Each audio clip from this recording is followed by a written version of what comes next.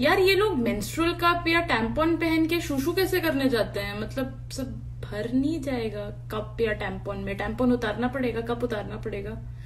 Actually बिल्कुल भी नहीं, क्योंकि हमारे डाउनस्टेज डिपार्टमेंट में ना तीन छेद होते हैं, दो छेद नहीं। हम आदमियों से थोड़े ज़्यादा सोफिस्टिकेटेड होते हैं। आफ्टर ऑल हम मतलब सेक्स और शुशु के लिए एक ही होल नहीं यूज़ करते हैं। बेसिकली हम अपने पेल्विस को देखते हैं। ये आपका ब्लैडर है, यहाँ हमारी शुशु भरती है जब हमारी किडनीज उसे बनाती हैं। और ये आपका यूट्रस है। यूट्रस में हमारा बच्चा रहता है, यहाँ से हमारा मेंस्ट्रुअल ब्लड आता है।